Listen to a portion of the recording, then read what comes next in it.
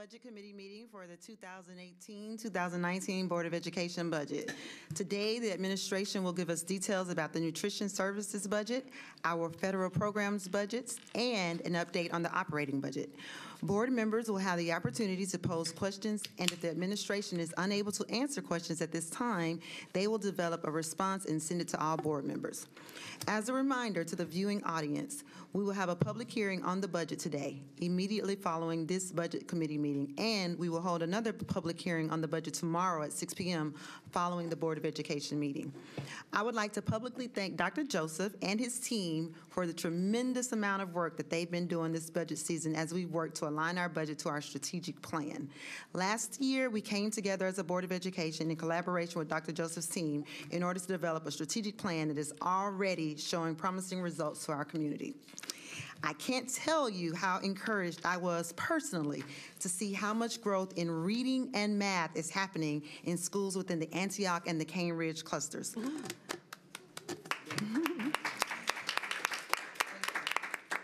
Has been as a result of the intentional focus that has been placed on improving teaching and learning within our school district. I've also been extremely pleased with what I'm seeing at our middle schools who are participating in the STEAM transformation that is happening within our school district. I want our entire MNPS team to know that your hard work is not going unnoticed. And it has been a pleasure, both as a school board member and as the chair of the Budget Committee, to see our ability to target resources to support first instruction, professional development, and increased compensation for all employees this is contributing to us finally seeing positive and accelerated growth in reading performance, mathematics performance, and student engagement of all students. I am so pleased I decided to work to remain on this Board of Education to continue to fight for equity and excellence for all students, especially students in the Cane Ridge and the Antioch clusters of schools. We are doing great work, and that work needs to continue at an accelerated rate. It is my hope that we continue to accelerate our academic growth by passing a budget that continues to move us in a positive direction. At this time, I will turn the microphone over to Chris Henson, our Chief Operating Officer, who will set the stage and begin today's presentation. And Mr. Henson, please let us know if you would like for us to ask any questions after each presentation or whether you prefer for us to hold our questions to the end of the presentation. Thank you, Ms. Hunter, and it's up to the board. The, I'm at the board's pleasure, so if you would rather wait or if you'd rather go ahead and ask your questions uh, as I'm presenting, either way is fine with me. Thank you. Uh, as was indicated, as you can see on your agenda, uh, we've got uh, several things to discuss uh, in this afternoon's committee meeting. Uh, the first thing would be our Nutrition Services Fund, and you should have that in front of you on top just as a reminder for those of you who uh, have forgotten or, or, may not know, the Nutrition Services Fund is a self-supporting enterprise fund. Uh, it uh, supports itself uh, with its own funding, and um, it's a separate fund from both the General Purpose Operating Fund as well as from the Federal Programs and Grants Fund. If you turn to the first page, uh, the first page is a snapshot of revenues and expenses. The estimated cash reserves or fund balance at the beginning of next fiscal year, July 1, 2018, estimated at approximately 15.1 million. The, obviously, the largest uh, source of funding for this uh, particular program would be federal USDA meal reimbursements. Uh, we're estimating almost $35 million in federal USDA meal reimbursements as well as a, a, new line this year that we haven't had for the last several years for paid meals.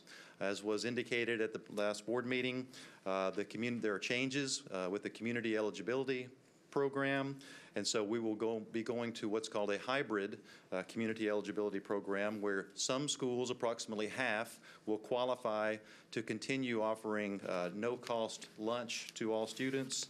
The other half of the schools would go back to the previous method uh, where we would still offer free meals, free and reduced meals uh, to students and families that qualify. The others would, uh, would pay as they have in the past. Mr. Henson, for um, the community's uh, purpose, can you just uh, reiterate how that process happened? I think people, I think there's still some confusion uh, regarding uh, whether this was a budgetary uh, situation on the school district's part, or um, you know, is it a result of you know, a grant expiring or something. Sure, yeah, it's, uh, it's something, it's a program that's a four-year program uh, where the school district is required to apply uh, every four years, and we simply do not qualify anymore as a district-wide community eligibility program. Uh, It's not a part of any budget-cutting measure or anything of that nature. It's simply that the school district no longer qualifies for the entire district to be under the community eligibility program because of the drop in our student poverty percentage. Uh, It's heavily driven by the student poverty percentage through the direct certification process. And as you remember from the presentation at the last board meeting, it takes about a 60% poverty rate for this program to be able to continue district-wide. Uh, We're sitting between 47 and 48%. We won't know the exact number for a couple of more weeks, uh, but it's obvious that we would no longer be able to qualify for the program. So thank you for, for asking that. We also have on the revenue side à la carte sales uh, to our students. Total budgeted revenue in the Nutrition Services Fund of 40, approximately $46.5 million. Under expenses, of course, the largest uh, source of expenses would be labor, salaries, and benefits. Uh, Those are projected to be around $25 million. We also have, a- of course, a large expenditure for food purchases of over $14 million. The Nutrition Services Fund does pay for its share of utilities in the kitchen, and you can see under the ex- expenses, the utilities, uh, we're estimating between 1.2 and 1.3 million dollars uh, for the Nutrition Services Fund to reimburse the General Purpose Operating Fund uh, for the cost of utilities in the kitchens. Total budget expenditure, total budgeted expenses of $48.6 million, with an leaving an estimated cash reserve at the end of next fiscal year, June 30th, 2019, of just under $13 million. You can see at the bottom of the page, uh, there are some items that were, uh, that are being planned to be funded from the reserve, uh, specifically uh, hood replacements in the kitchens, digital menu boards, and point-of-sale system upgrade. Uh, $2.125 million to be spent from the reserve, uh, and those would be uh, non-recurring one-time expenditures coming out of the reserve for this particular fund. Any questions on this page? Again, it's a snapshot of, of revenue and expenses for this fund. I do. I do. Anybody else? Taisha? Thanks, Chris. I do, can we go back to the CLP? I have a, had a. CEP? CEP, sorry. I had a couple of questions about that. And I Um, may have to seek some reinforcement Okay, sure. behind me up here if it gets too complicated. So, um, just uh, trying to figure out that multiplier of 1.6, correct? So if we are sitting at 47, 48%, is, is that, then you add the 1.6? You multiply that times 1.6? Okay. So you're saying we need to be at 60, correct? That's what, So what that was said at the puts last it up meeting. to like a 95%? Ninety-five percent, mhm. Okay, so have we determined that 95% qualification eligibility, or is It's- that set somewhere else? It's just the way that the, the numbers work out to be able to fund the program, uh, no-cost lunch. The calculation is a ninety-five percent uh, would be needed to re- receive the, the adequate USDA reimbursement that would be needed to continue the program. Okay, and is that in line with other districts? Do you know? 95% is general? Wanna- And Yeah, Ken, it- I would just introduce yourself too for the public. Uh, Ken Stark, uh, Executive Officer Operations. Uh, Yes, that 95% is a very typical ratio, and actually, it's a little lower. People actually aim higher. S- a- Again, keep in mind that reimbursement is the percentage of the federal reimbursement. So the federal reimbursement on a free lunch is $3.31. So that means we're, at 95%, we're getting 5% um, less on that uh, for every meal. So as you lower the percentage, your reimbursement um, decreases. So that- So are you actually eligible? It just, it's just not, you're not going to make up that gap? The, um, the, I, think technically we could be eligible, but you have to also at the same time be able to, to adequately fund it and be at a uh, zero loss status. Okay. And then the other question is, um, do we, it sounds like we believe the students are there. It sounds like we believe that we have students, our direct cert numbers should be higher, but they're not, they're not self-reporting. Is this correct? Um, I think, we do believe the number is higher. The question is, we're not entirely sure how high it should be because of some of the data issues that we have and the inability to um, match to the state database. Um, There is also the issue with, um, as you mentioned, the uh, under, uh, under applying. So if a family, for whatever reason, chooses not to apply for SNAP or TANF, um, then they would not count as directly certified, even though by an income standard, they may apply, or they may qualify, sorry. So I'm sure your, your office is stretched. I know we've got the work of Tony Majors. Are there people who, who go out and try to find the families to make sure that they are filling out the forms? Um, You mean internally or Right, or groups? in, e- either one. Is that a, is that a possibility? It's, it's a possibility. I met with a group this week to talk some about that. Um, it's certainly something that, that we can look towards. The difficulty is that we have to, for next school year, we have to use April 1st data. So it would, essentially, it was all of the kids that had applied and were in the SNAP and TANF database before it, before March started, really. Okay, okay, thanks. Just wanted to ask. Jill? Thank you. Um, Chris, if I understood you correctly, uh, about half of the schools will continue with CEP, and the other half will not?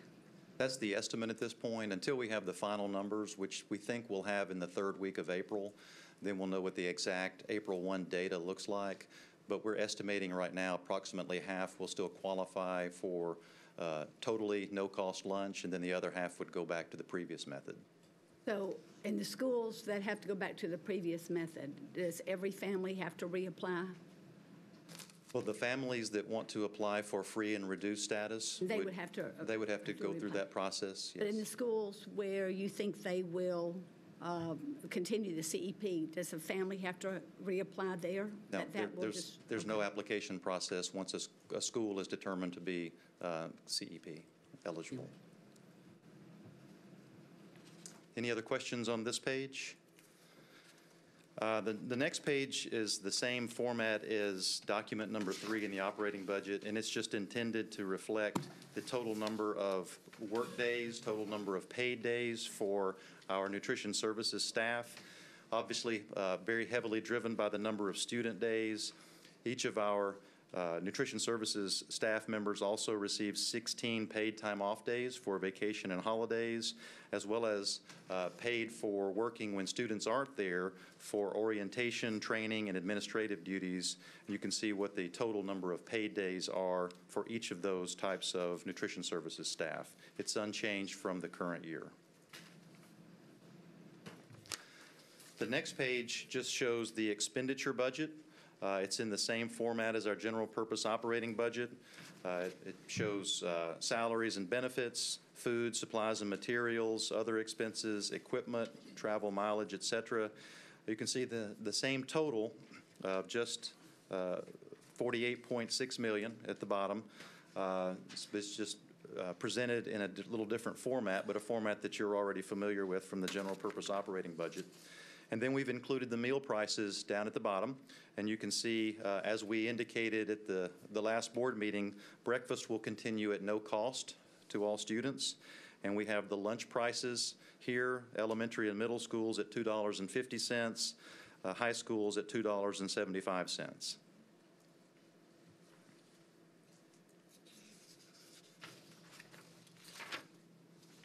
The next page, if there aren't any questions on that one, the next page uh, just shares some data regarding year-to-date meal, meal count comparisons over the last several years. Uh, So it goes back to 15, 16, uh, then last year 16, 17, and then year-to-date for 17, 18. We have the uh, school breakfast and school lunch programs during the regular school term. We have the summer feeding program, and then we have the afternoon snacks and after-school supper program.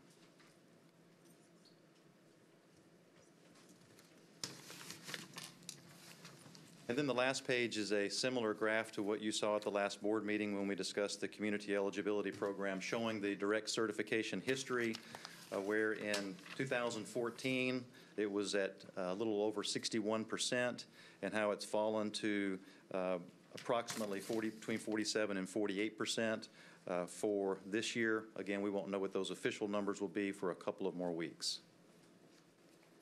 It also shows at the top the number of identified students uh, compared to enrollment to get to that identified student percentage.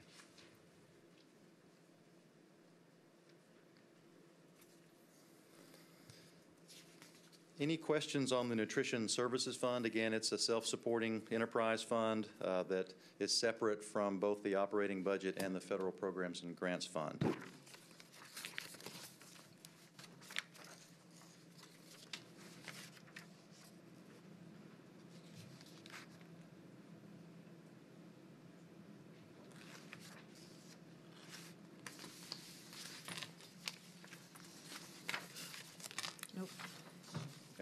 Always come back to it if you would like.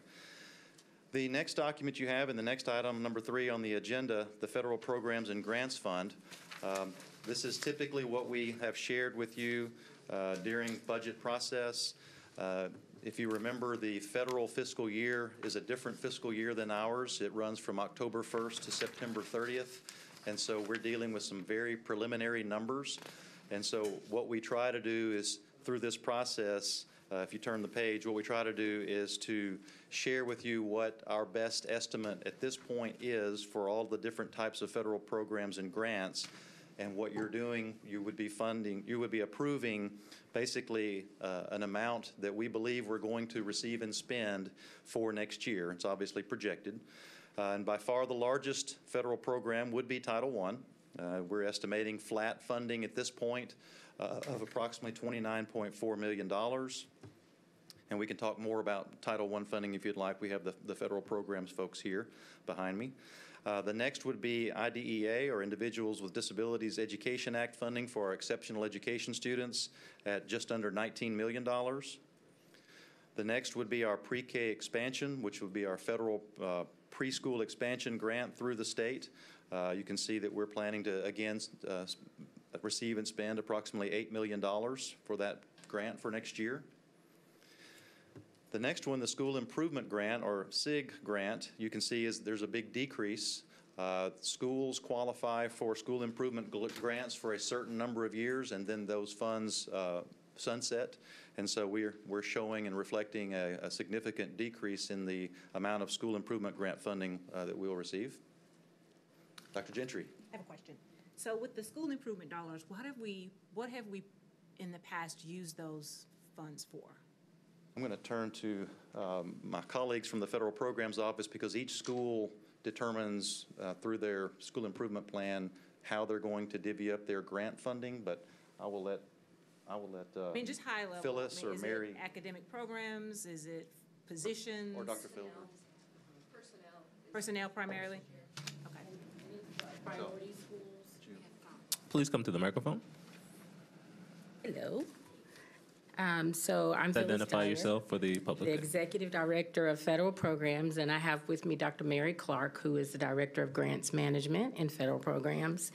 And um, so our school improvement funds, the current schools that are um, participating with that grant are Inglewood Elementary, Jerry Baxter, John Woodset Elementary, KIPP at Kirkpatrick, and Madison uh, Middle School, uh, which are priority schools. So um, what we have done with that, those funds in the past is those particular, um, that particular grant uh, goes toward the uh, school, various school improvement models in our priority schools.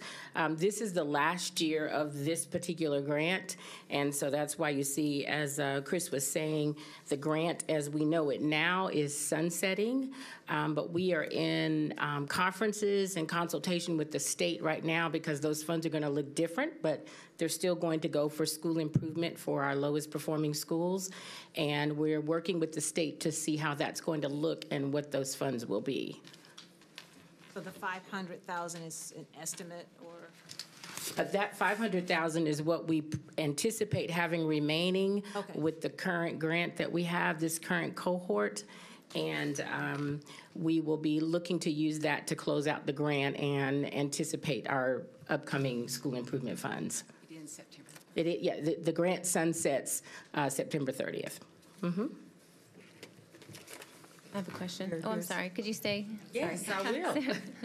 So, um, I, d- I don't have the sheet with me. I had kind of done my own tracker of, uh, of our different schools and where they had been falling with the state rankings, knowing that we've got a, a more schools on the cusp list. Um, how have you felt like the impact from these, from these school, school improvement grant dollars have done in terms of results? Like, will we see those schools exiting or getting close? I know Inglewood and Whitsitt seems like they've made the most progress, but if my memory serves me right, Whitsitt was just barely over the bottom 10 line. So Gra-Mar exited off of the last school improvement list, off of the last priority list. Um, And as you said, we do anticipate Whitsitt and Inglewood exiting um, from the, the l- current list that we have. Um, So we have seen improvement, and um, probably, I could probably better answer that Okay, question. sorry. Well, just in terms when we're looking at these dollars, we know we want to always make sure that we're getting, Yeah. that they're being used in a way that produces So, results. so ta- there's twofold to that question. So when Dr. Joseph came on board, we met with the Commissioner of Education to appropriate dollars in a different way as compared to how it was appropriated before. So um, um, do we, an- the, each, all of the schools are making progress. So it's not as easy to say they're going to automatically exit because the state takes the bottom 5%. Right. So what you're seeing in the last two years that we are doing differently has been more around teacher capacity training for them, around different pieces around literacy and reading and those components, and also teacher retention. So trying to provide more uh, bonuses to them in terms of keeping teachers at the particular school. And the other component has been also giving uh, principals more time to work with, um, get more direct services into school as compared to the two years before. So to answer your question, we anticipate probably two or three schools may be able to exit. We can't say all of them because it's a moving target. Right. Sometimes it's based on how many schools are closed in the state in the bottom 5%. On that cusp list that you saw, it was actually the bottom 10% schools on there. So that's why the list looks so wide. So there's um, there's us, there's Shelby County, there's Hamilton, and so there's all these other places. And so we would anticipate, um, to answer your first question, yes, we anticipate schools to increase. To tell you they're all automatically going to move out, it's a hard target to tell you that you know, five, six schools will move. It's not as easy as that. But we will, we would say that we've seen um, the state has designated two to three of our schools in terms of performing well based on their metrics, and so they have been able to kind of move forward. So um, Whitsitt Elementary is one of the schools. Um, Inglewood Elementary School, and then Pearl-Cohn has had a lot of progress as well, but we can't tell you Right. for that final list. Ms. Pierce, I would chair, I, I believe it was the two um, board updates ago, uh, we put in your packet information regarding Buena Vista and Napier as examples of what the plans were. And we did share that we could give the board progress, the progress of all nine, uh, if you were interested. Uh, I believe, I can't remember if I put that in the packet, but I can, we, we keep, we are required to monitor those schools' performance on, on a monthly basis, and we have been. Uh, so we could easily uh, give you information so you can see specifically where those schools have uh, performed, particularly on our measures of academic progress in math and reading. Uh, we are pleased with uh, some of the growth that we're seeing, uh, knowing that much work needs to be done. Uh, but this is one of the reasons we have been really talking about the equity and making sure that the schools with the greatest need be, get more dollars in a, in a way we can do that because we clearly saw a correlation between uh, the levels of poverty within a school and the student achievement. And as we have been working within those schools, looking at the needs of those schools, uh, we've been trying to really target. Uh, based upon you know research-based practices, things that we know we can invest in to get a greater outcome. Uh, but we can we can get you the performance on all nine of those schools, so you can, and that that could probably answer your question. I can probably put a summary together for you. If that would be helpful. Okay, Dr. Gentry? Well, Dr. Joseph said what I was going to say about the how the Title I reallocation is going to help to compensate for this grant that's phasing out. But I, I do want to just be, kind of just say something in, in plain English, that we've had these funds for five years, right? I see a yes and a no. Not this, this cohort. Not the cohort, the, the one eight nine nine nine, did that grant, how, did that, the, the school improvement dollars, that grant started, This cohort four, this is, they're finishing their third year.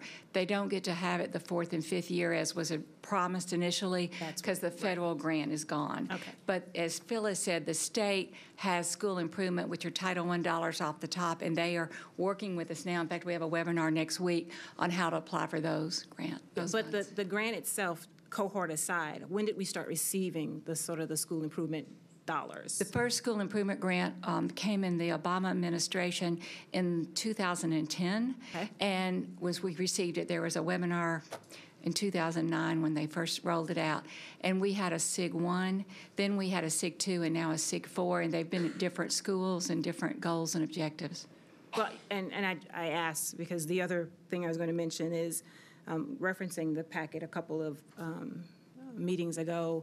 Um, This is the first time we've actually had transparency into how those dollars are being used. So I do thank you all um, for that. Because I remember the meeting when the school improvement plans were presented way back when, um, and they don't look anything uh, like those plans. And so I do appreciate uh, the effort and the intentionality um, uh, about how those dollars are being used. And hopefully, we can continue that um, under the auspices of the Title I funds as well.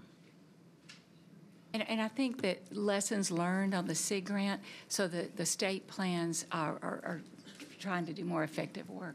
Yeah. Do you want to talk about the office that they created, school improvement office? Oh, oh, go ahead, go ahead. I'll let Chris. Y- Y'all may want to stay close. Um, Below the SIG grant, or School Improvement Grant, you have the I-Zone, uh, which is basically flat funding, and uh, they, uh, the group uh, of my colleagues can answer any questions about I-Zone. We also have the Pre-K State Grant, which is uh, different than the Pre-K Expansion Grant from the federal government. The Pre-K State Grant has been longstanding with the district. It funds a number of our uh, current, and has funded a number of our current pre-K classrooms across the district. We also have Title II funding, Title IIA funding for teacher and principal training and recruiting, as well as Title III funding for English language acquisition, enhancement, and academic achievement. Carl Perkins CTE, or Career Technical Education funding, uh, is flat. You can see most of these are projected to be flat, uh, these federal programs going from uh, th- this year into next year. I'm not going to go through each of these unless you have specific questions. I did want to touch at least on those that were over a million dollars. Uh, I'll, will direct you down to the bottom part of the page where the asterisks are uh, indicating new grants. Uh, We have approximately $3.8 million in new grants, uh, particularly the Magnet School Assistance Program, or MSAP grant, uh, which funded uh, magnet programs at several of our schools. And then uh, we have the Education Innovation and Research, or EIR Pyramid Model, projected to be at two and a half million next year. Two music uh, grants, National Endowment for the Arts and Professional Development for Arts Educators grants, which total uh, approximately $450,000 each and you can see the other. Uh, What we've done, we typically try to plan for a contingency of around $5 million for any new grants uh, that we might receive, and that's what we were able to, that's how we were able to fit these new grants into uh, the current year budget, because we had a $5 million contingency. We have approximately $3.8 million in new grants, and so the current year contingency is at around $1.2 million. So we're estimating next year, based upon these new grants, that our federal programs and grants fund will increase from approximately $78.2 million to approximately $85 million. And again, any questions on any of these federal programs or any of these grants, the, the federal programs and grants uh, folks can answer. Exciting.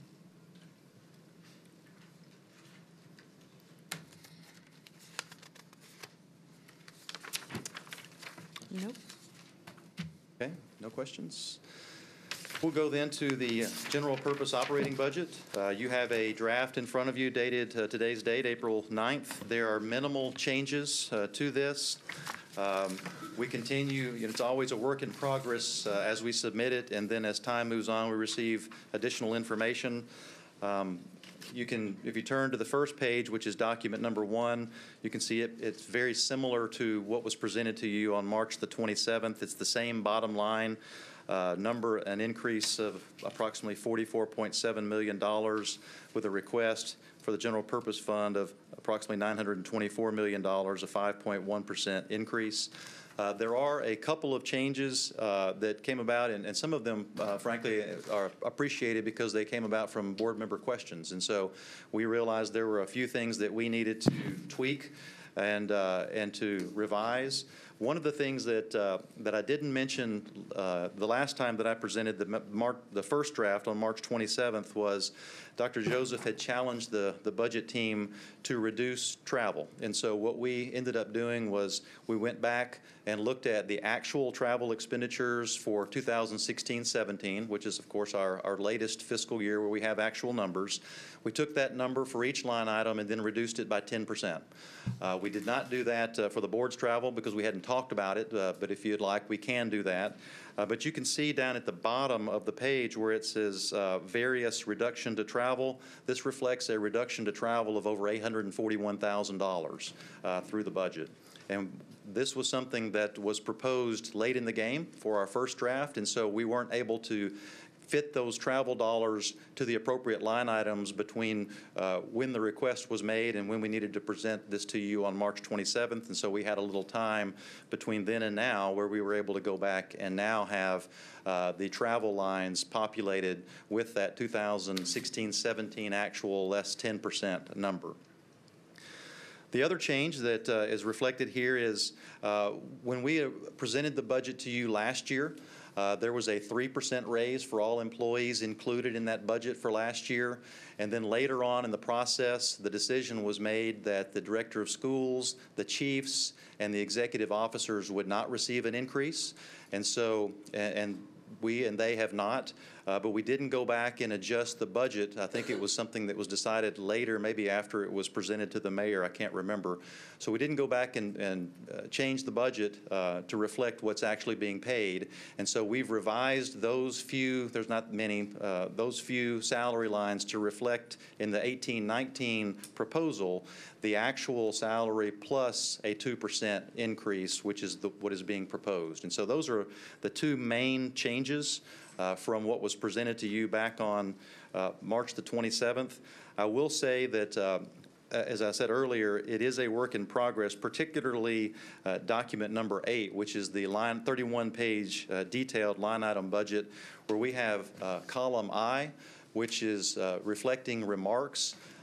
These are, to say it kindly, these are difficult to keep up with because uh, they are very detailed, and so we've asked our folks, our staff, to review uh, all of their budget accounts and line items and make sure that the remarks uh, are reflecting what's actually being requested for 1819. Uh, We've made some of those changes here in this particular version. Uh, We'll continue to make those changes as they come to us. But again, uh, we appreciate the board's questions about some of these line items because it did bring to our attention, some of them did need to be updated, and so we appreciate that. Uh, But we'll continue to uh, improve uh, that column and to try to make those remarks succinct, but also uh, allow some explanation for different line items. Uh, There's no way to, of course, put uh, everything here in, in this particular document, but if you have any questions about any account, uh, feel free to ask, and we'll provide you with a, a much more detailed uh, response than you can see on, on the remarks column here on document number eight. Again, this is reflecting basically the same um, as we had before, same bottom line, same increase. Um, There's nothing really new uh, in this draft compared to the March 27th draft. And I'm happy to walk you through once again each of these documents if you would like, or just wait to see if you have specific questions. Jill? Thank you, Chris. Um, On the present salary scale, it takes 13 years for a teacher to make $50,000. Uh, And that's with the bachelor's degree. With a master's degree, it takes 10 years to get a $50,000 salary. A 2% raise for $50,000 is only, t- is only $1,000. And for chiefs who make $185,000, that yields $3,700. Um, a 2% pay raise for the director uh, with a $285,000 salary, 13% deferred compensation, and the ability to sell back 10 vacation days in this budget is reflected at $7,300. Now, teachers are the backbone of this district. We know that, and I love seeing you nod your head. Thank you, Chris. It's difficult for teachers, workers, bus drivers to live in Nashville, Tennessee, and many work two jobs. So I suggest that the money uh, goes, this 2% raise, goes to the people who need it most, which would be teachers and workers.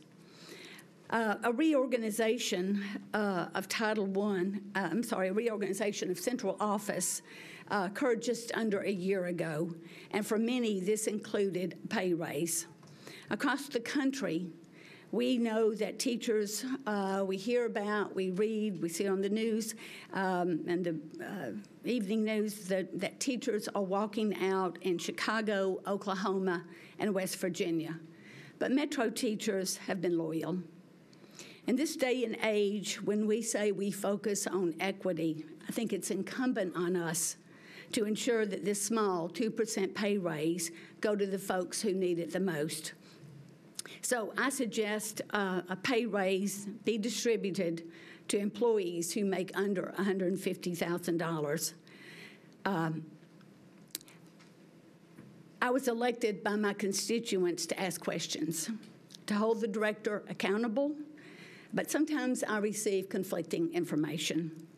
On March the 7th, in response to my question, HR responded according to payroll records this year, Maritza Gonzalez has not received any stipend or extra compensation.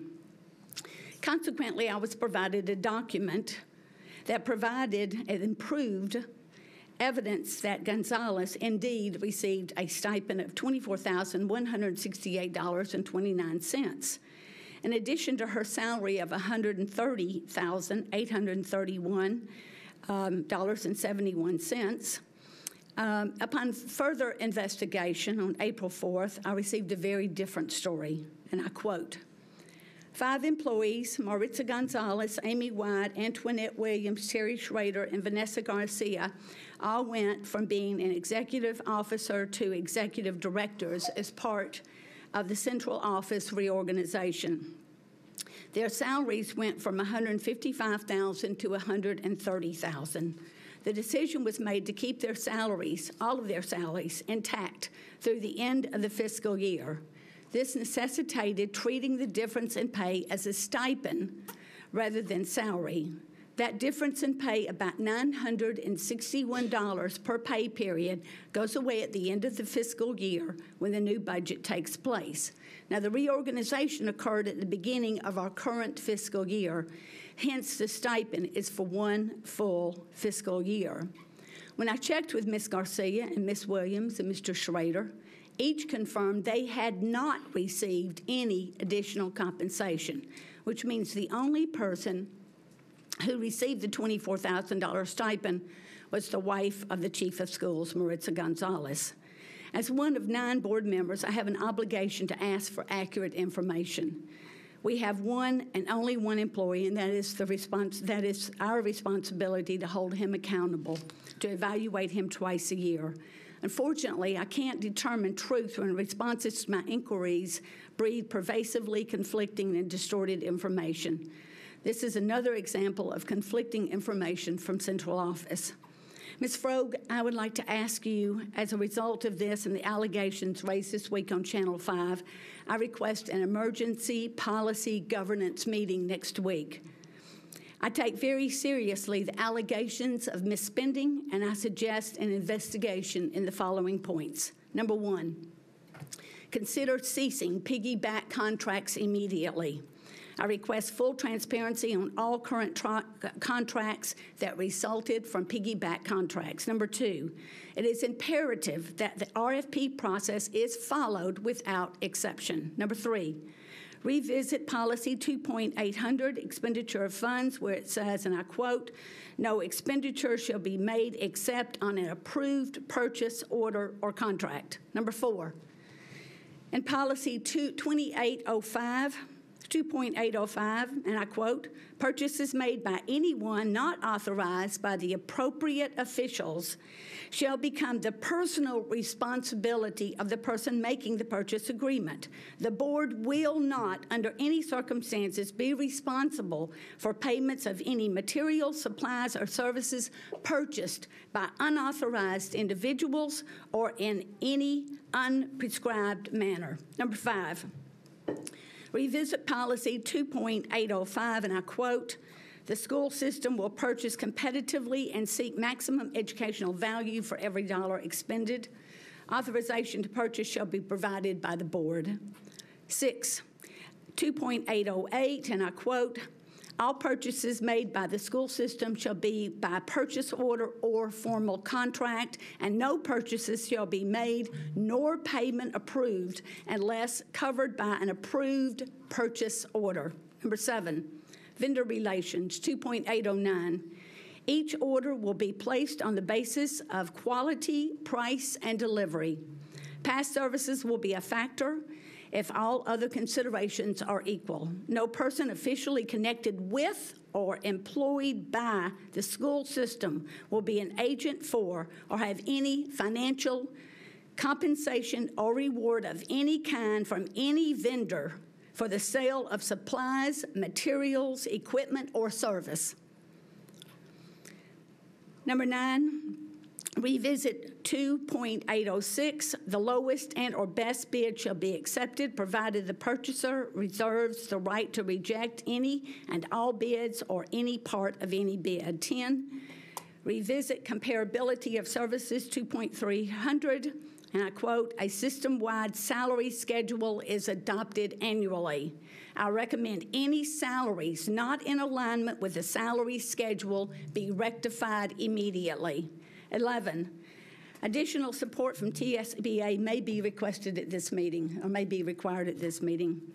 Uh, I asked the uh, chair, and she's not here today, to convene an ethics committee according to the policy 1.106 to discuss possible violations of our policies.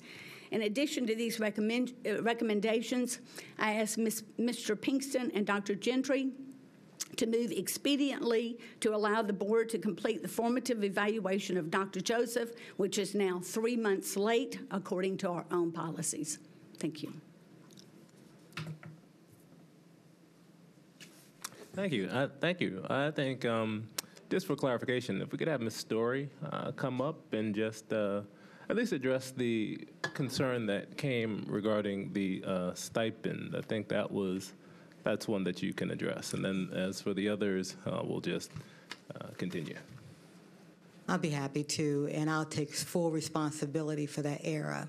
What exactly happened was that um, the individuals that you named had an option to have their salaries decreased immediately, meaning going from 155 to 130, or they had an option to, um, to have their their salary scaled back incrementally so at the end of the fiscal year, they would be at the 130. Each one of them chose to go immediately to the 130 without any adjustment, and I take responsibility. I thought it was, I thought they had gone the other route. Um, Maritza Gonzalez, her responsibilities didn't change as we had anticipated. She still continued to uh, supervise the same area that she had before the reorg. That's because the executive officer for communications and engagement position was vacant.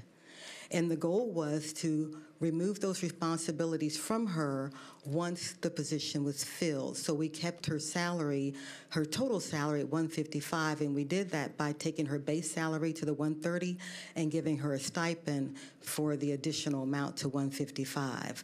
As of today, that position still has not been filled, and she's continuing to maintain the same level of respons- of responsibilities that she had July 1 of this past year. Dr. Thank you. Gentry. I'm s- sure. I'd like to call for a point of order, um, that we return to the review of the budget, um, line item review. Thank you. Um, And so that we can be prepared for our community meeting at 5 o'clock. And so that anything that's regarding policy, governance be uh, assigned to the appropriate meeting at the appropriate time. Thank you. And I'll, I'll, I'll make sure we, we address some of the other uh, questions that came in, in the director's report uh, tomorrow. I'll happily uh, address some of those issues that were raised. Thank you. Ms. Pierce? Yes, so I don't know if Dr. Majors is here. Um, Tony Majors? Al- Alvin Jones is here, or Dr. Narcisse?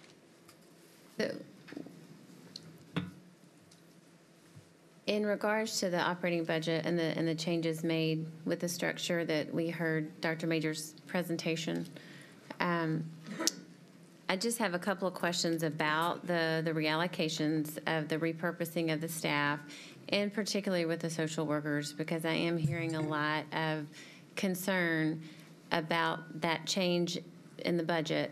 And so what I, what I want to try to understand is what is filling that void? Or how are those, those services going to still be provided to students? Is it through a different you know, another communities and schools or partner, uh, help us understand so we can better respond to constituents and people who are emailing. I just got another one saying they were worried about the uh, loss of a social worker at Maplewood. So just to try to understand how we can let them know that through the budget we're we can ha- answer One of the better. things that we started last year, and that was expanding the counseling services that our guidance counselors did.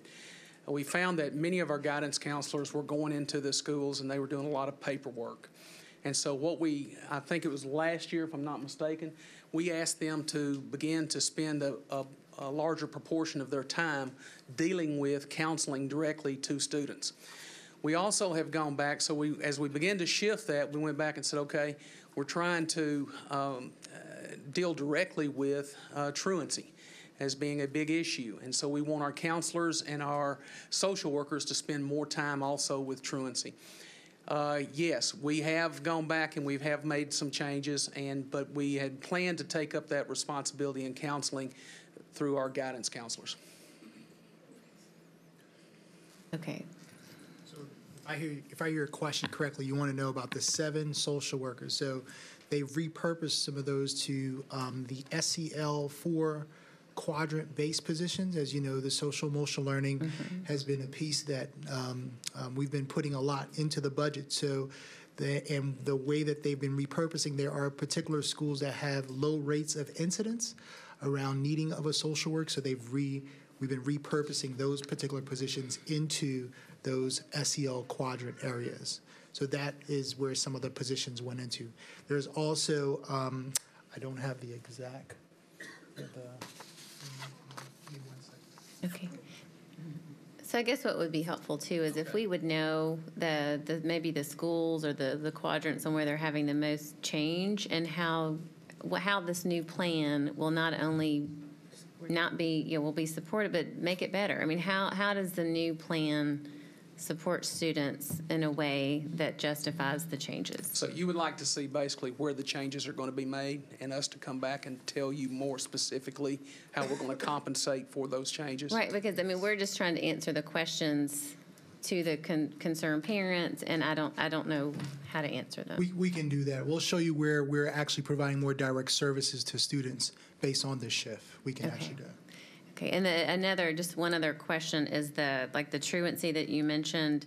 Uh, we understand that's going back to school level and just making sure that the schools are then staffed to handle that as well. Because I have some schools that are losing a general assistant unless it's approved by an exception hire. So there's just a lot of, it's, it it's very in the weeds, I get it, but it's very real to them and to those individual schools. And so if these bigger changes are being made, we need to know that the supports are absolutely in place on the ground uh, to, to meet those needs and to support what we say we're going to do. So I think that's the, the part that I'm still seeing the disconnect of, of making sure that the people on the ground are, are confident in what's coming their way. Yes, yes, we can show you that. Okay. Get those changes to you.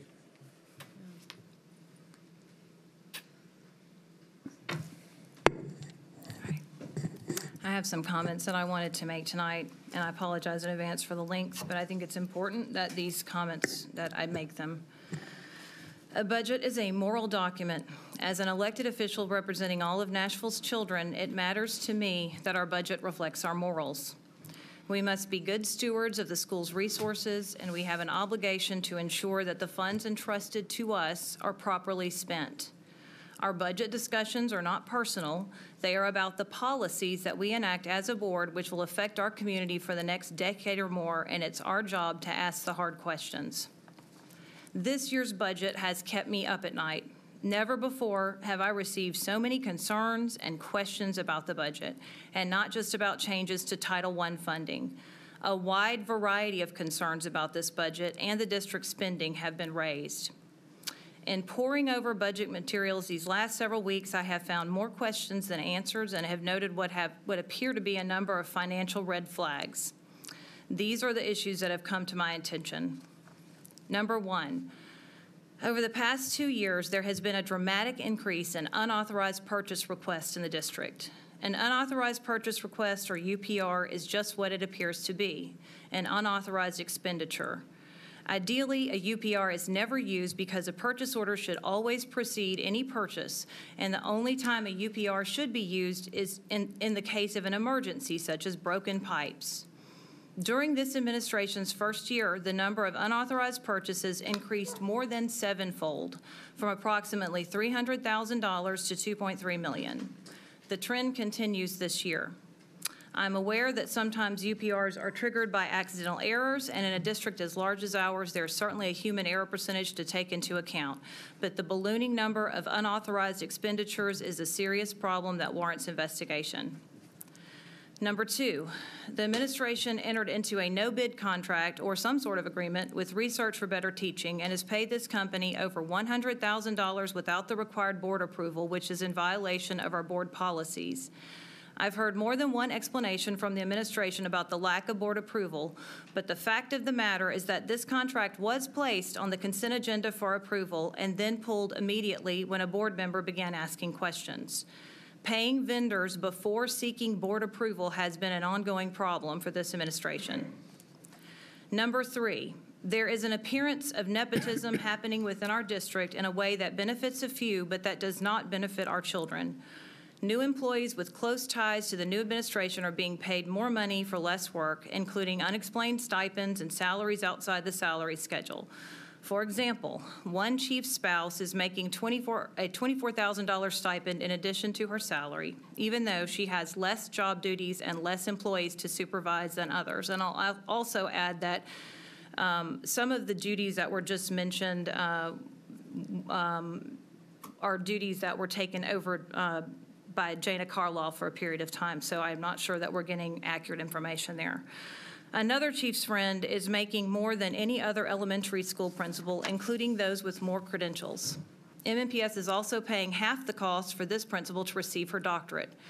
Furthermore, the first draft of this year's budget proposal reflected much higher pay increases for those at the top of the pay scale than the 2% raise offered to teachers. This was changed when a board member noticed the problem and pushed back. Number four, in the first year of this administration, consultant costs grew from 5.1 million to 8.6 million, and some of the new consultants appear to be problematic. For example, last August, the board approved a literacy contract with Read America LLC for $150,000. When I searched for information about this company, I was unable to find a website or other information online. The company appears to be a one-woman operation run out of someone's home in Chicago, and MNPS appears to be the sole source of this person's income. I also received complaints about another consultant, Bruce Taylor, and decided to look into his background. From Mr. Taylor's marketing website, I learned that he has no background or training in education, but is instead an actor who now pr- promotes Common Core. The district has paid Mr. Taylor over $100,000 without board approval, and according to a News Channel 5 story, Mr. Taylor worked in the district six months without a contract. I am also concerned because I recently learned that an outside organization has brought in the former superintendent of Knox County Schools to work with MNPS. He's now attending executive leadership meetings. According to Knoxville board members, this man, quote, left a trail of disaster in his wake. Knoxville colleagues tell me their former superintendent spent too much and started too many unsustainable programs, leaving the school in financial straits. Now that the superintendent is gone, Knox County schools must cut key programs to make up for the deficit. Number five, the administration is piggybacking substantial service contracts, some worth over a million dollars from contracts in other counties. Piggybacking is a procure- procurement tool that allows for no bid contracts. Piggybacking service contracts, as MNPS has done, is problematic because of the inherent risk of fraud and the potential to get less than the best price. One such no-bid service contract with Performance Matters was piggybacked from contracts in Shelby County, Tennessee, and Orange County, Florida, for a total of 1.1 million. Yet the Performance Matters contracts on file with the Metro Clerk's Office shows that the contracts are not to exceed 1.8 million. I want to know why the board was not consulted on this change. Performance Matters is affiliated with a nonprofit company called Education Research and Development Institute, ERDI. According to a News Channel 5 story last week, Dr. Felder has received consulting fees from ERDI. ERDI partners include a number of other companies to which the district has awarded large contracts, including Discovery Education for, one, for 13 million and Scholastic, which hosted 10 Metro employees, including Dr. Felder, at the Ritz-Carlton on Amelia Island, Island in February 2017. According to a News Channel 4 story, MNPS helped pay for the Amelia Island concert, co- conference, sorry, but Scholastic also comped rooms for MNPS employees at the five-star hotel, where rooms typically cost $700 per night. Contract discussions with Scholastic took place on Amelia Island, and immediately after the conference, administrators tried to place an extremely large contract with Scholastic on the board agenda. It was pulled when a board member questioned it. A couple of months later, in April 2017, the board approved a two-month contract for Scholastic to supply classroom libraries for $140,000. I would like to know how much Scholastic paid for the Amelia Island Conference and for MNPS attendees specifically, including room fees, meals, drinks, and any other perks, as well as any consulting fees. We need an investigation into all consulting fees garnered by MNPS employees, particularly those related to companies affiliated with ERDI. I would also like to know which contracts with ERDI partner companies were no-bid contracts. So in sum, these are the questions, I mean, these are the problems as I see them. Questionable contracts, consultants, and expenditures, overpaid employees, and at the least, a disregard of proper procurement procedures. These problems have been amplified in light of the way the budget has been handled this season. With regard to contracts and consultants, the common theme seems to be avoidance of board scrutiny. That is the very opposite of transparency. Due to, quote, budget constraints this year, the district has already cut paper, toner, and other basic supplies from schools, curtailed professional development training starting in February, removed funding for school plays, cut out year-end celebrations, and in general defunded the efforts of those on the ground, the very people who touch children's lives daily. And now this administration has proposed cutting seven social workers. It would be possible to make up for much of the shortfall just by cutting salaries and raises at the top of the scale. For example, excluding benefits, vacation days, raises, consulting fees, and other perks, our director and his five chiefs alone are, alone earn salaries totaling around $1.2 million. This would pay for 22 social workers. Of course, we must pay our re- leaders reasonable salaries, but in a budget crunch, it's critical that we keep our priorities straight. All of this is disappointing and distressing to me because I have placed my full support behind this administration. I believe the board and administration have done excellent high-level work during the last two years, and it's difficult to reconcile the work we've done with the issues I've raised. But it turns out that where the rubber meets the road, the focus is not really on students. This board must engage in difficult conversations about the district's spending, and we have an obligation to make policy corrections wherever necessary. I propose that we immediately reduce the amount on contracts that the board approves, that we prohibit any further consulting fees by district employees at least until the audit is complete, and that we discuss installing an internal auditor to oversee MNPS spending who reports directly to the board. This board has a fiscal obligation to do the right thing, and I hope that we will take swift corrective action.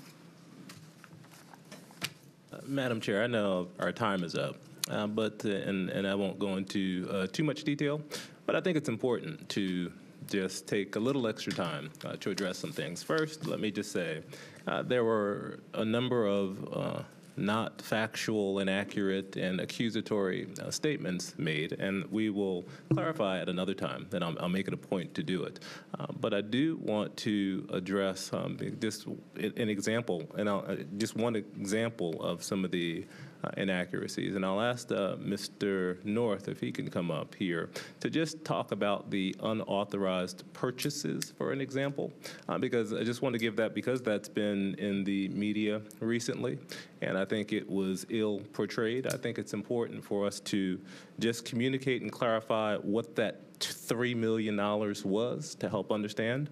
Uh, we will, again, for time's sake, I will hold off and continue on this, but I'm very disappointed uh, that uh, we have two board members that, that chose to uh, not communicate with the administration, but instead choose, chooses to uh, go out and make uh, ac- accusations that are not only inaccurate, uh, but, in my opinion, disgrace the great work that we've been doing. When we have staff members that have been working extremely hard, and one thing I am proud of is the integrity uh, that I hold as we work to address the achievement of these 86,000 children within this district. Two children, including my own, here. Uh, I don't.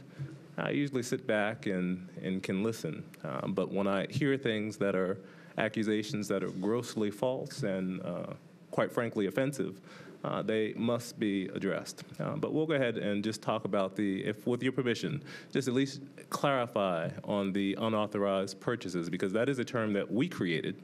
Uh, so we'll just, uh, Mr. North, if you can just go through what that actually is, and in general, uh, give what the $3 million difference was in general. And what we promise to do is by tomorrow, put out to the public the specifics of what those dollars were uh, so the public can have a general understanding. Uh, big concern, and I think I've cautioned this board before uh, of making accusations that could be considered uh, libel uh, because when we start calling people out and questioning their credentials and things of that nature, you put this board in a predicament where they will be sued for your inappropriate outburst and inappropriate comments. Uh, but we'll uh, we'll follow up with that. But Mr. North, if you can please uh, just address that, and then we'll end and get to the second part of the uh, hearings. The, the UPR process is really a, an additional safeguard and, and for when the purchase order isn't on time. Sometimes the, the invoice comes before a purchase order is completed for several reasons. Um, With regard to the amount, right, which is really, really the concern, uh, for the most part, they fall into two areas, uh, the large amounts. One is transportation, uh, and there was a uh, substitute bus drivers. Um, The, the contract for those uh, ended up being paid um, for last school year, uh, at the end of the school year with several um, UPRs. Uh, And that totals $2 million. Uh, That is. Just to clarify, that's two million of the three million dollars in question. That's, I, I believe that's correct. Um, an, another large amount is uh, some professional development, uh, quite a bit of which was to Lipscomb University. Um, and we'll get those. And about how much was that? Uh, a little bit over half million. Yeah, that's about six hundred thousand. Uh, and so those those are the largest. And then there was something for reading recovery, if I'm not mistaken. Uh, and that, that that's part of the the Lipscomb, uh, the the payment to Lipscomb. It's a reading recovery partnership, I think is how it's labeled. Um, so those those are the those are the the amounts, really. And And how does a, how does an, how does a purchase become unauthorized? When we talk about an unauthorized purchase, is it an illegal purchase? Is it a purpo- per- a purchase that was inappropriate? Uh, wh- What does that mean, just for the, just for the public? Yeah, it, it didn't go through that purchase order process. It doesn't mean that it wasn't, uh, and, and in fact, the UPR is, is the additional process, the later process, to make sure that it's approved, uh, both th- by the, the department head, um, and, um, and by the purchasing department. I ju- I just want to respond. So first of all, I did my homework on unauthorized purchase agreements, I mean, purchase purchase requests, and so I do know what those are, as you might guess. I don't doubt Um, that. I took some of the language directly from MNPS Communications, so I'm not making this up. This is, it's very serious when we are not following proper procurement procedures. And when you are not following proper procurement procedures, that generates UPRs, which means that you are not using a purchase order properly as you should. And I think that is something, that's why I'm asking, is that we, it warrants investigation. Um, I also want to say that I did communicate with the administration extensively. I've asked lots of questions. I've followed up many times. I've been doing this for about five to six weeks, so this is not out of the blue. And I also want to say that this is my job to ask questions of the director, and I am doing my job on behalf of the taxpayers, and I'm not quite sure who the director is suggesting might sue me. I don't know if the administration is intending to sue me for asking questions. Oh, no, But wouldn't. that's a real problem when there is a suggestion that there may be a lawsuit when I'm actually doing my job. And that's all I want to it's say. a lawsuit when you are inappropriately uh, pointing people out and, and making comments that are I'm not doing my job, and I'm not inappropriate. I am within. Um, excuse me. I have the floor. Excuse Ms. me, Frogge. uh, excuse me. I am doing my job. So I'm allowed to ask questions. I am allowed to specifically ask about particular line items and people. That's all I would like to say. So, Dr. Gentry. thank you, Ms. Hunter. Uh, As a board, I think um, the appropriate, I- I'm, I'm sure what our intention is, is to figure out how we can help to not have to rely on the UPR. Is there anything that we can do from a policy perspective, um, whether it's going back and um, uh, being okay with there being more than five things on the consent agenda, um, doing a, uh, making it easier for board members to get access to the contracts in a timely fashion so that we can review them. Because I know what our intention is, is to be helpful uh, on behalf of the students. You know, I had a totally unrelated, but um, I spent a week in Salt Lake City and one of the presentations I got to hear was from, I think his name is Richard or Robert Sheridan. He is the CEO of Menlo Innovations. And he wrote a book called Joy Incorporated. And uh, you, I'm sure you're very familiar with it. And people from all over the world go and visit his company um, to wonder what is it about this place that people are actually happy to come to work. And there's just two things I want to point out. The first thing I want to share, and there's many aspects of this company that make it the joyful place to work.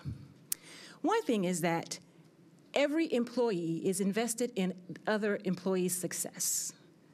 So my goals as a Menlo employee are based on Tyese Hunter's success.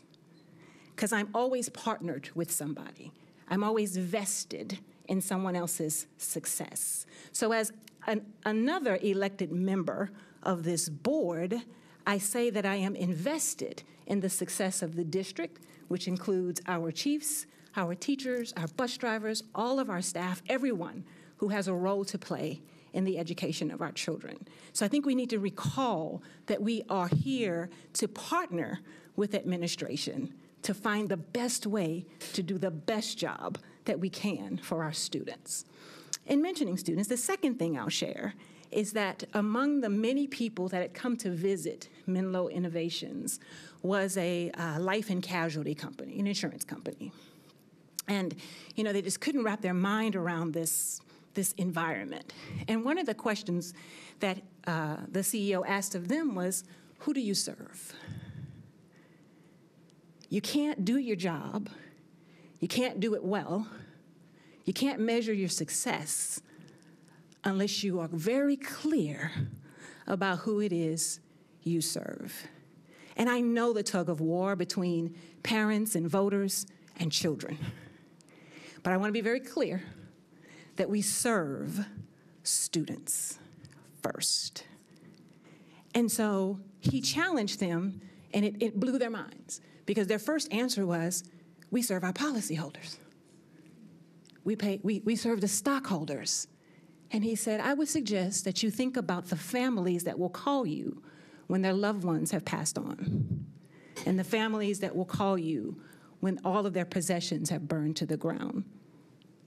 You don't serve policyholders, you serve actual real people. And so I'm looking forward to these additional discussions and meetings that have been requested so that we can do our role as board members and partners with this administration to make things better for our students and that we can continue to support the one employee we have, the one we actually hired to do this job and continue to do it well. Thank you, Ms. Hunter. Thank you. Mrs. Pierce. Oh, I'll just close out with saying that, or you can close, but, yeah, I think uh, part of the support that we do have for Dr. Joseph does also require hard questions. And it, and, um, and requires actually really knowing that some of the proposals that have been made have been well vetted so that we can feel assured that when we vote on April 16th for the budget, that we are serving our students the best way possible, not just you know, but I, I, so I've been struggling with getting too in the weeds of knowing so much on the ground of how people are feeling that some of the impacts are coming. Um, but I'm, I'm continuing to press on and just trying to, to put in the buckets hype from reality to action and what can we really do right now. So um, anyway, this is ongoing. We're continuing. Um, but I do think this board is, we know that we need you to succeed for our students to succeed. Um, and when the African proverb, when the elephants fight, the grass is hurt the most, and those would be our children. I just have a few questions, Mr. North. How long did you serve on Metro School Board? Five and a half years. And how long, what years were they? 2007 to 2012. How were you tracking unauthorized purchase requests then? I don't remember, Did you track them? I, I don't remember. When did we begin tracking unauthorized purchase requests? I'm not, I'm not sure. Jeff whether Gossage is here. He can answer that question. I, I can speak to Oh, it as a minute, well. wait a minute. I- I've been in the, Gossage can. I've been in, well, I'll also speak to it. Uh, I've been in the district for over 30 years, and we had UPRs. You said it was something you, you, we had, uh, we had um, UPRs that, like $15 when I was at the school level. Um, A purchase order that was not authorized. uh, because of an emergency situation, because of something happened at the school. So I- it, it is not a brand-new thing that just happened over the last two years. Mr. Gossage, can you come to the microphone, please? Uh, Mr. Gossage is the head of purchasing for the district. Came in at a great time. Uh, My predecessor, uh, Gary Appenfelter, began the program in 2015 that we're using today. It is an excellent tracking process to see what takes place and how it takes place procedurally, and also to record the, uh, the actual purchase so that we have a record of that. We can go back and see where we are and how much we have spent. So 2015 is when it began. 16 it probably ramped up some, and then this year. I would also say that even in hospitals, I looked it up online, and hospitals talk about how dangerous UPRs are. Colleges and universities talk about how dangerous UPRs are. Uh, So this is not just a school issue. You may have done some type of work since you've been here that made it different than it used to be, but it is a, uh, it is an old process. It's not new. What is the percentage of UPRs based upon the entire budget that we have right now? both in quantity and in dollars. It is Okay. less than 1%. So we're, we have a 99% accuracy. That is awesome. And especially since we just started tracking it. So I would just like to say thank you to mainly our teachers and our staff because they're the ones that are that are responsible primarily. And I don't know what was going on with the reading recovery um, people that were not. Can somebody speak to that? I'm just really curious. I can speak to it. Uh, When Gary Appenfelder was here and uh, contract was about to uh, terminate, uh, Gary Appenfelder would let people know, and that didn't happen this time, and therefore, uh, they, the contract with Lipscomb was uh, four years old. So it would have been easy to have uh, expanded or extended or renewed that contract, but the, um, the timeframe uh, that people were used to Gary Appenfelder letting, giving them the heads up when a contract was coming due. So without that reading recovery contract concern, UPR, honestly, we, that means our percentage would have been even higher. So that's still a good thing to note. But um, I think that's all we have for today. Does anyone have any more questions? And are we going to do the meeting times next? Just Yes, I'll let you read them, Mary. Oh, Mary's going to read you the meeting times.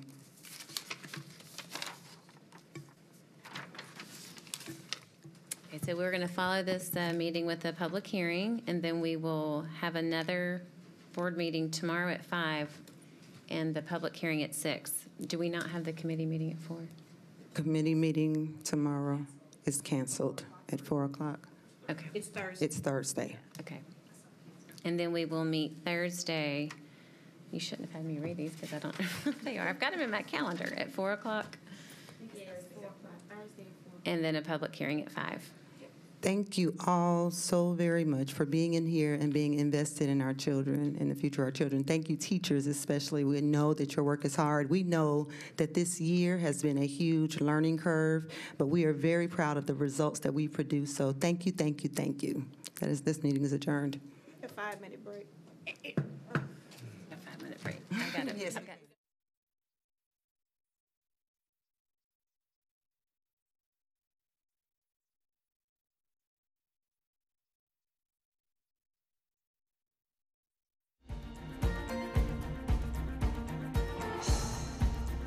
This has been a service of the Metro Nashville Network. If you would like to see this presentation again, or for more information about this and other programs, visit nashville.gov.